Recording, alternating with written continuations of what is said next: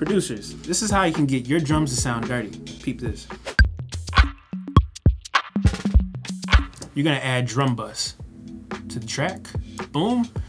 Kind of give it a little bit of crunch, a little bit of drive, take a little less of the transient off so it's not as long, and ease up on that effect because this is a really abrupt thing.